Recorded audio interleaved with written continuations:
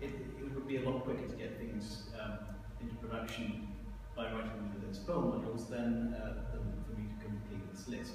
Uh, obviously, really cool stuff can't be uh, copied into Perl, but stuff that's already handled through modules is pretty much fair game. Uh, so I'm going to talk about class algebra, because we already have a modular system, uh, Moose, which has uh, a place where this kind of stuff could fit in, Um, so first I'm, I'm going to demonstrate what you can do with the class algebra in my list, and then I'm going to explain how it works, uh, and then finally I'll talk about how it might fit into Moose. So, for the purpose of this demonstration, I've already created uh, a couple of uh, abstract classes and uh, a couple of concrete classes, instances of them. And uh, the first thing we do uh, with classes, because this is uh, a dynamic programming language, is you can introspect, you can compare classes. So let's compare widget. Widget is an abstract class.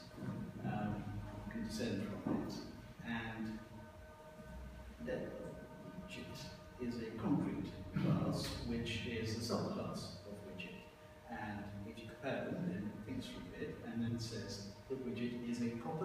widget.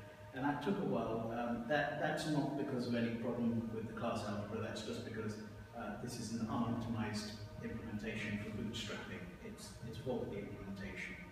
Um, we wouldn't have that problem uh, in, Perl. Um, yeah, so I, I, can also compare it against, it against another concrete class.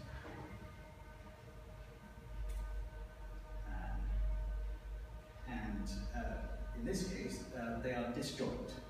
Uh, this shows you that this comparison result tells you that uh, they are not directly comparable. Neither is a superclass of the other. Each, so each of them contains uh, objects that the other does not. In this case, they are actually disjoint, which is uh, a, a, step further.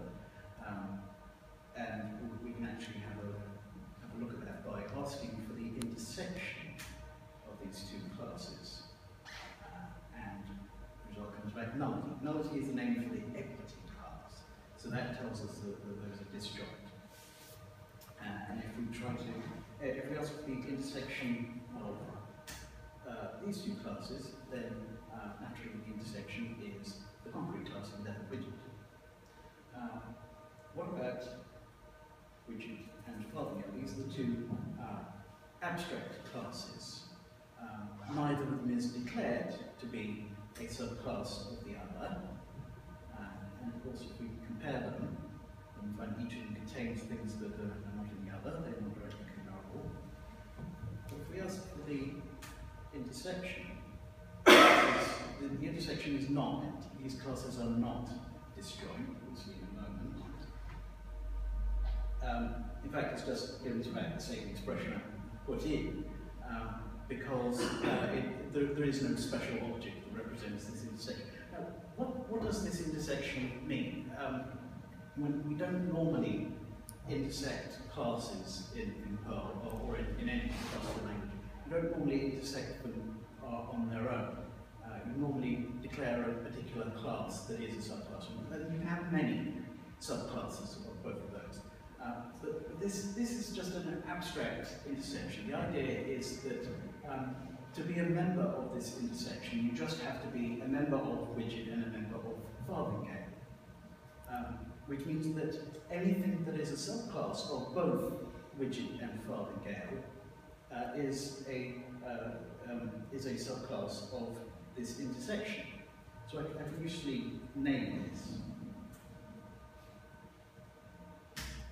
Uh, and it so happens that I have already created uh, a concrete subclass of it.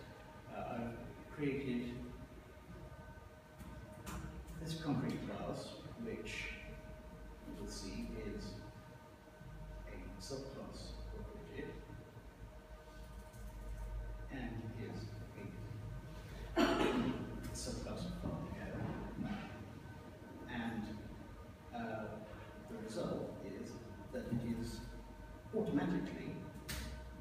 a subclass of intersection widget. Um, so, uh, so is kind of any specific uh, subclass that is declared to be uh, a, a, a, subclass of widget and a subclass of Farthingale is, was automatically a subclass of this intersection. It, so it means that the intersection kind of sits just above all of those uh, subclasses, all, all.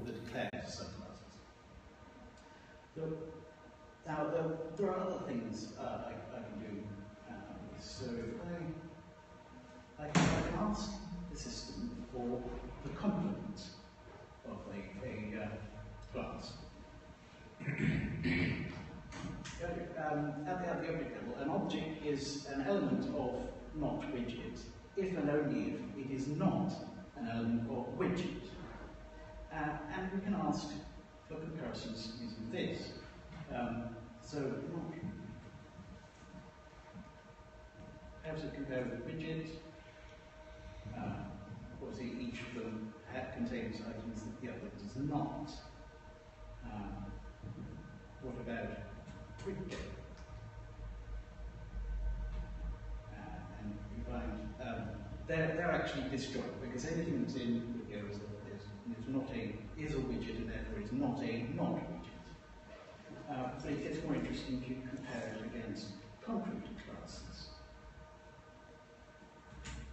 Um, now, uh, the, the, way the classes work in, in this system, concrete classes cannot be descended from. I've separated out um, different aspects of classes being able to uh, descend from a class, using it as a superclass, and being able to create instances of class, two different aspects of, of, of classfulness, and uh, in this they're, they're separated out into, into distinct objects. So you cannot descend from the concrete classes.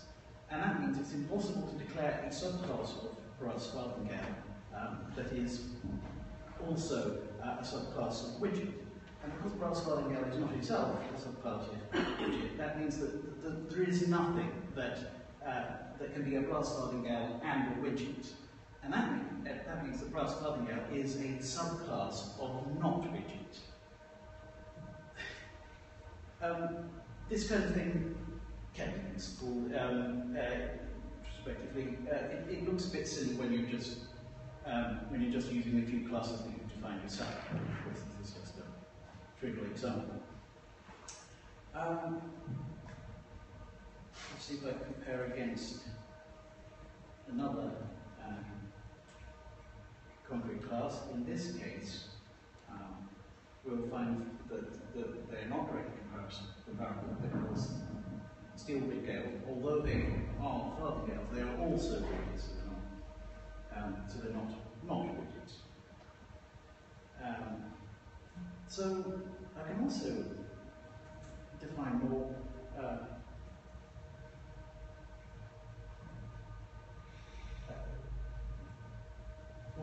combinations. So I will find this to be the intersection of Farthingale and non-widget. It, it's a meaningful concept, and in the system you're allowed to create it.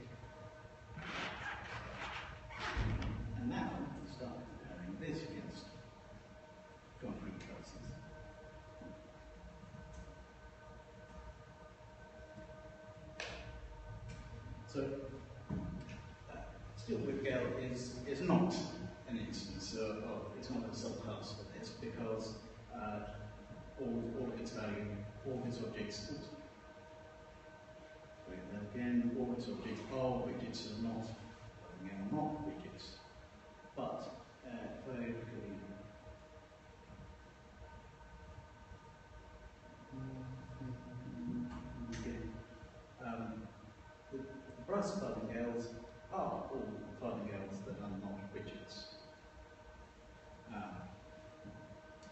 So, so um, the Russell girl is a subclass, a subclass. It is visibly a subclass, but it, it, it is visibly the subclass that it should be.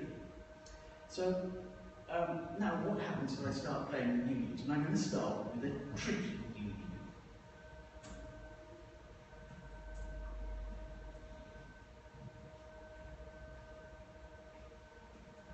So what would you expect this to release?